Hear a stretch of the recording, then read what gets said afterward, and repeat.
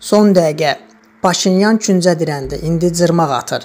Ermənistan silahlı qüvvələrinin təxribatları nəticəsində Dağlıq Qarabağda yeni eskalasiya başlamamış, yəni sentyabr döyüşlərindən əvvəl Azərbaycan prezidenti İlham Əliyev bu ölkəni terror dövləti adlandırmışdı.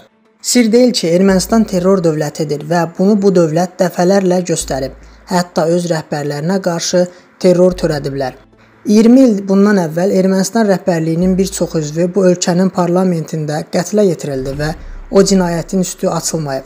Halbuki hər kəs bilir ki, o cinayətin sifarişçiləri kimdir, ancaq onu ört basdır edirlər. Çünki onların terrorçu mahiyyəti bu gün də yaşayır deyə İlham Əliyev bəyan etmişdi. Sentyabrın 27-sindən etibarən alovlanan müharibə zamanı prezidentin bu fikirləri birmənalı şəkildə təsdiqini tapdı. Ermənistan silahlı qüvvələrinin Azərbaycanın münaqişə bölgəsinə aid olmayan ərazilərini ağır artilleriyadan atəşə tutması, mülki obyektləri və şəxsləri hədəf alması rəsmi İrəvanın terrorçu mahiyyətini ortaya qoydu. Həmçinin münaqişə bölgəsindən xeyli aralıda yerləşən Gəncə, Mingəçevir, Xızı və Abşerona raket atılması, Ermənistanın terrorçu dövlət olması şübhə edənlər üçün də mesaj sayılmalıdır. Əlbəttə ki, rəsmi İrəvanın Qarabağdan kənarda yerləşən Azərbaycan ərazilərini atəşə tutması həm də münaqişənin miqyasını genişləndirmək, bölgədəki maraqlı aktorları, xüsusilə Rusiyanı müharibəyə cəlb etmək istəyir. Məsələ burasındadır ki, Ermənistan kollektiv təhlükəsizlik müqaviləsi təşkilatının üzvüdür. Ermənistan Azərbaycanı təxribata çəkərək Bakının İrəvanı vurmasına çalışır.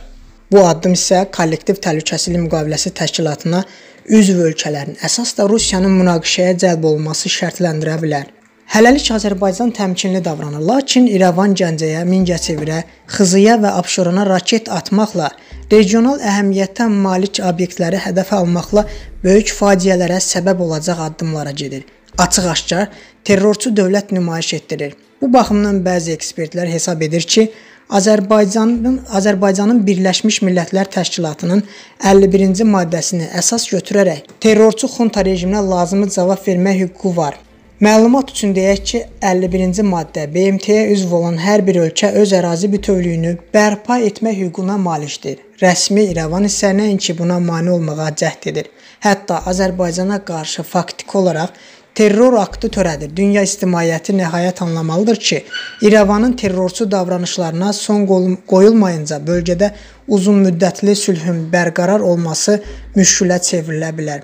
Yaşasın qəhrəman ordumuz, yaşasın Azərbaycan, eşq olsun dövlətimizə.